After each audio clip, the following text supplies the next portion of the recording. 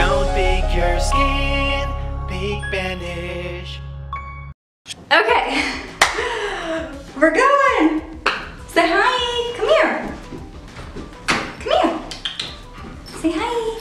Say hi. Mm. So you guys, today, me and my dog apparently are both gonna be on screen. Um, today I want to talk to you guys about some of my favorite dairy-free alternatives because I know that there's a ton on the market and when you're making the switch to a dairy-free lifestyle, it can be kind of stressful, you know, figuring out new recipes, figuring out things that you like and don't like, and most importantly, like, for me at least, not trying to waste money. so this list is some of my favorites. Not everyone's gonna love them. Some people are gonna probably be like, that's gross, or that's really good. Everybody has different tastes, but I think my opinion is pretty good. So hopefully, hopefully you guys like these products as well. Um, so I'm just gonna go through a couple and I will show you guys whatever I happen to have in my fridge right now. First, dairy-free milk. Silk milk. Dude, this is like my staple. Like I drink this before I even went dairy-free because I just don't like cow juice, you know? It's kind of kind of weird. I don't want no cow juice. I don't want no cow juice. Um, but silk almond milk, it's really good. And the new taste actually is really, really silky and a little bit like creamy.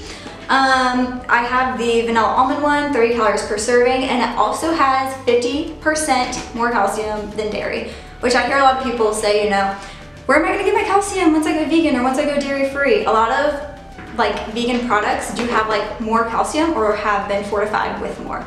Silk is amazing, love it, definitely a staple. And they have, you know, just regular, this one is vanilla. Um, you can get unsweetened, sweetened, I think they have chocolate, all that good stuff. Second option, Forager cashew milk. And this one is so creamy and it's a little bit more expensive. I think this is about five or six bucks. My husband bought this. This one was supposed to be the unsweetened one, but I usually get the regular version so that I can use it to mix in like to make sauces, like dairy-free sauces, so I can make an Alfredo sauce with this and then maybe some soaked cashews. I could use this in baking. I could use this to make a homemade mac and cheese. So that's what I like to use this one for because it is a little bit more expensive. Um, I like the creamy taste, so I wouldn't drink this every day, but maybe use it in like dishes that I'm making. Secondly, let's talk about dairy-free butter, which a lot of products in the butter section actually are dairy-free, which is kind of impressive.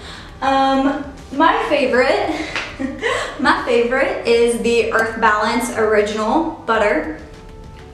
It is vegan, it's gluten-free, non-dairy, non-GMO. The only thing about Earth Balance is that they do contain soy, so if you have a soy allergy, I probably would not recommend this. But the taste is seriously right on the money. Like you cannot tell the difference between this and butter. I don't think so. I don't know. I'm not a huge like butter freak. butter freak. You a butter freak girl.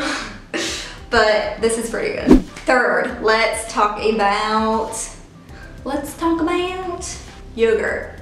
My favorite yogurt brand, hands down, has got to be Kite Hill. They make the best yogurt. And I think they just came out with a Greek yogurt too, if I'm not mistaken. My favorite one, because I'm a child, is these ones that just came out. They're tubes. Um, but I really do like to take these on the go, especially since I'm so busy with school and work. You know, I can just sit there and I don't need a spoon, don't need to clean any dishes. I just suck it out of the tube. And I'm gonna eat one right now apparently because it sounds pretty good. And just like that, and dude, it's so good. Like the flavor, the way it like sits in your mouth, I know it sounds weird, but it feels like yogurt. Like I've tried a bunch of different yogurts, um, no shame. So Delicious one is like a little bit watery. Like I feel like it's hard to kind of get that texture. Oh, it's so good. It's so good.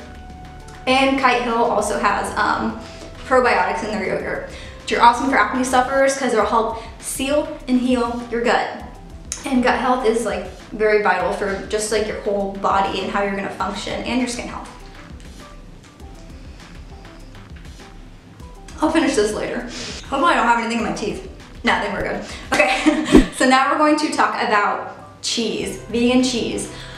I was so overwhelmed with vegan cheese at first. I was just like, nope, not gonna do it because I'm gonna waste money on all these different products and I didn't know if it was gonna taste good, you know, like you plan to have a pizza night and like make homemade pizza and if yours turns out bad then you have to make something else or whatever. So finally I was like, screw it, I'm just gonna try all the cheeses and these ones are my favorites. For pizza, I like to use the Daiya um, yeah, I only have a little bit left, so I should probably get more. Daiya is awesome. I would only put a little bit on though. You don't want like your whole pizza to be covered with it just to like get the taste. Um, I really like Daiya, I like the way it tastes. It is soy free um, and it's vegan, which is amazing if you have soy allergy like me. Love it. So good. And um, if you guys ever go to Mellow Mushroom, they actually have this as an option. So you can go with a date and split a pizza half-seas and then we'll put half of this and then half like, you know, regular cheese and whatever your other person wants. Uh, but me and my husband like to do that a lot because it's one of the places that we can both go to eat out. Second cheese, and this just came out, so delicious. Um, this is the cheddar, ooh, this is the cheddar jack flavor. Terrific on tacos. It really is, like really good on tacos. It says melty. I wouldn't say that it melts that much, especially not compared to the Daiya one. Um, but still, it has a really, really good flavor. I love this cheese. And this one is made with coconut, but it is soy free, so that's good. All right, now we're gonna talk about soft cheeses. Oh girl, these soft cheeses, I swear. This one is the best. The Treeline nut cheese, artisanal nut cheese. It is so good. And I made my mother-in-law try it and she didn't even know the difference between this and the regular one. It comes in like this little circle and you can grate it, which obviously you can see I've been doing. And then you just can put it back here and save it. It has such a strong flavor. It tastes like real cheese. It's amazing.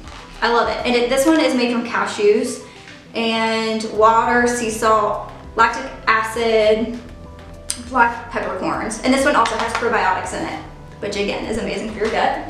Second favorite is this Miyoko's Creamery. And they make a bunch of different products as well. This is a, oh I have some broccoli on there. Fresh mozzarella cheese balla. I love it. So good, so creamy. And this is actually really good on pizza too. You can do thin slices and it'll kind of brown and it gets so melty. This was recommended to me from someone on Snapchat, so thank you, girl on Snapchat, so much. Thank you, fam. Um, to put it in mac and cheese, actually, with like a little bit of water or a little bit of like nut milk. It works, it's delicious. Lastly, we're gonna talk about ice cream. So my two favorite brands, I don't have any Ben & Jerry's right now, but Ben & Jerry's is awesome, and they also have a lot of dairy-free, dairy fee. Hopefully you don't have to pay a fee. Dairy-free flavors um, in their scoop shops, which is amazing, meaning that you can go out and get ice cream with someone. You don't have to just like take a pint home. And So Delicious has a bunch of different flavors as well. The only one I have right now is the soy milk peanut butter zigzag. This was before I knew I had a soy allergy. That's why I still have it. Don't have any other ice cream in my fridge right now, but they have soy milk, coconut milk, cashew milk, almond milk. They have like 45 different flavors. It's amazing. So tastes like the real thing. The only thing I would recommend with this one and the Ben & Jerry's is to take it out like 10 to 20 minutes before you think that you're gonna eat it so it can get a little melty. Otherwise it kind of like is hard and flakes off, not like a real ice cream, which is weird. But if you wait and like let it get melty, it's creamy and awesome and delicious and I love it. Hopefully this video helped you kind of think about some alternatives that you could use or will make the transition going into a dairy-free lifestyle easier. I know for me it was really, really hard at first because I didn't know where to start or you know what products were good or what to use or any of that stuff. So, you know, hopefully this helps you in some way. And being dairy-free is like one of the best decisions that I made for my skin. So if you're doing it for your skin, for your health, because you're against the dairy industry, any of that, it is the way to go. It's awesome. And I hope you enjoy it. So thank you so much for watching this video and like or comment or subscribe. That's it. Bye.